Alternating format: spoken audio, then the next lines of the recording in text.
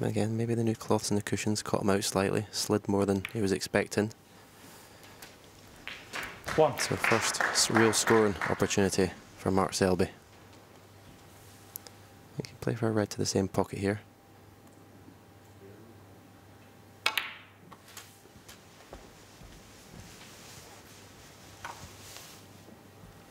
Eight.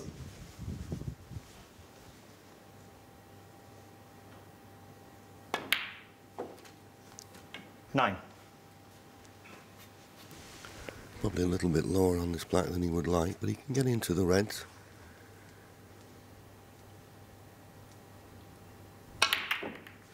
Ooh, but don't miss the black. Mark Selby, nine. Does that black come to his rescue? I don't think so. That red still goes to the right middle. I was just going to say, Stephen, the one thing you've got to avoid doing, and particularly early on in the match, is miss easy balls when you're in. Yeah, I was just going to say that, John. I know we're only in the second frame of a 35 frame final, but it cannot be given Ronnie more confidence than obviously he already has. And nothing gives you confidence as when your opponent misses easy balls.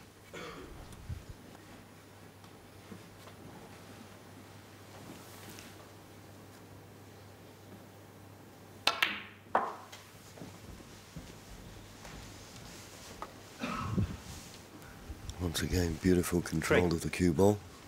They'll be looking to leave a half ball black. There's a few loose reds to play on, but he liked the black back on its spot.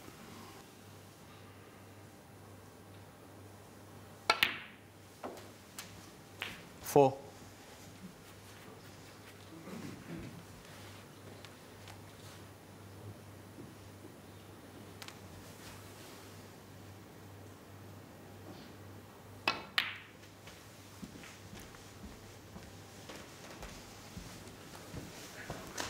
Another beautifully played positional shot. Eleven. Absolutely inch perfect. Coming round off two cushions with a trace aside like that, and as I say, to the inch.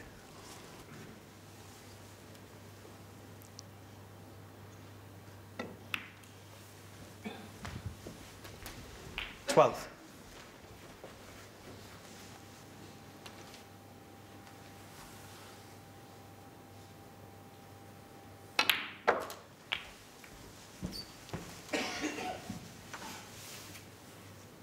Well, immediately, Ninety. he spotted this plant.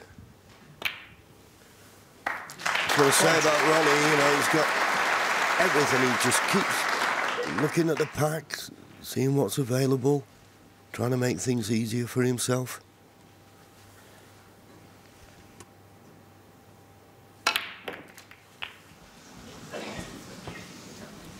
But even for the maestro, when you go into a, a cluster, you always need a bit of luck. And that one hasn't worked out.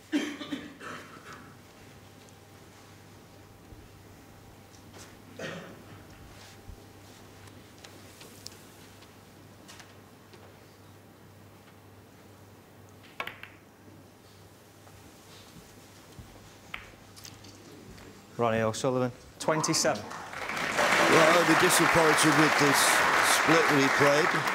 Just wanted to miss that, really. If he'd have caught the other one, he'd have kicked a few open and released the cue ball. But unlike Ronnie, in this tournament so far, Stephen, when he has run out of position, had an easy safety shot to play, he's usually made it count. He's not made this one count. No, he's left Mark with a, a pot to the left corner. He's got to get it though, because if he doesn't, he's going to be leaving the red that's to the right of the pink to the left centre. So there's a bit of pressure on this.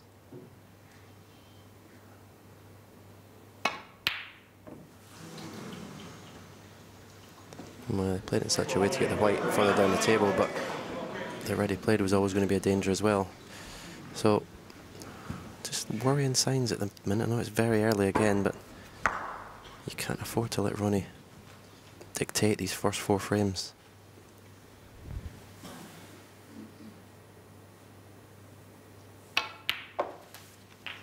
One.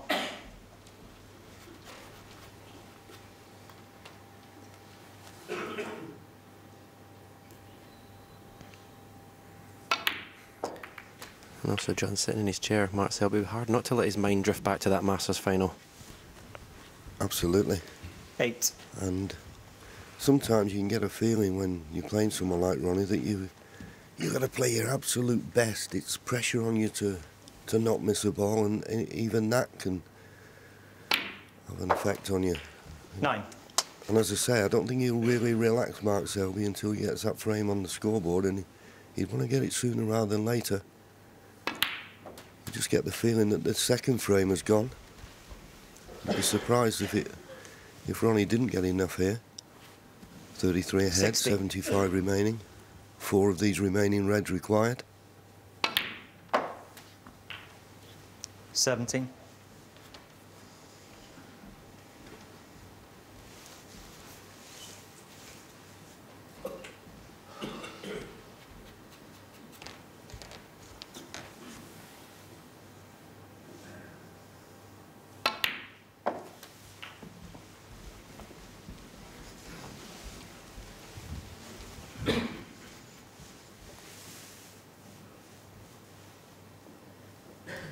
Just having a look. He thought the pink didn't go on its spot. Double check here, but it goes on either.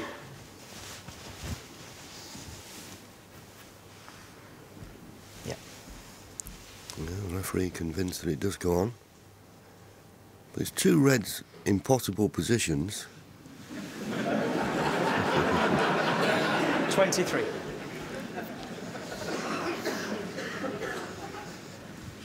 So Ronnie, a little bit surprised. I'm not certain what was going on there. I was,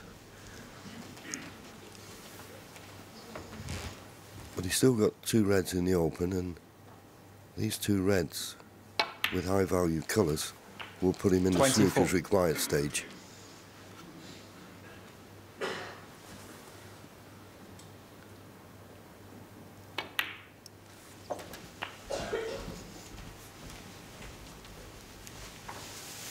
Ronnie trying to get a look as to where he's 31. putting the pink.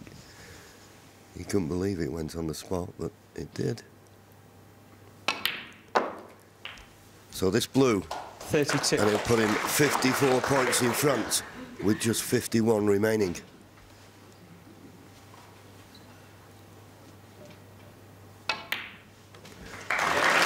Well, these reds are obviously a plant to the left corner.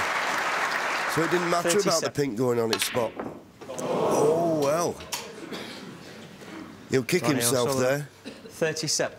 He will be kicking himself. It looked a dead set plant. I don't know why he needed to play it so hard. But Mark Selby now, just a bit of a bounce, trying to force the cue ball over. One snooker needed. It's not impossible.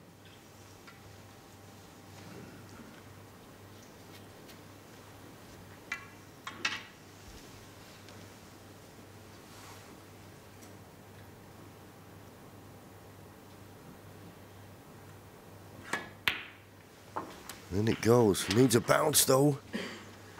Ideally, in an ideal world, you'd pot the black, play the red on the left-hand side, followed by a black, and then play a snooker behind the pink off the, the red just below the pink. But is that still a possibility?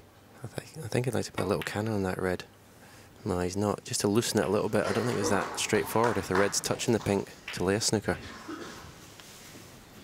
I've been trying to maybe catch the, the Eight. edge of that red there off the black.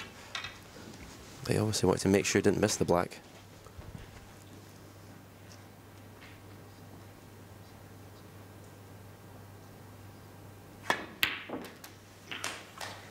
Oh, he's got to bounce again. Well, he's got Nine. to pot the black in the middle pocket. So Ronnie made a mistake there and has given him half a chance. This black needs to go in.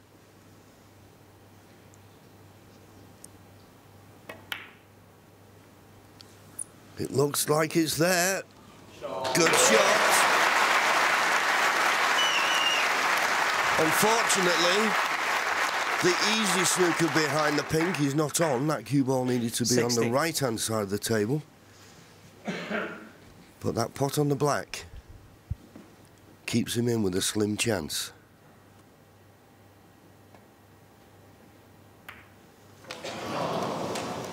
Mark Selby. 16. And Mark puts his hand up and says Ronnie, that's enough for me if it's all right with you. And Ronnie gratefully receives it. Give him half a chance there, but just couldn't control the cue ball. 2 0, Ronnie O'Sullivan.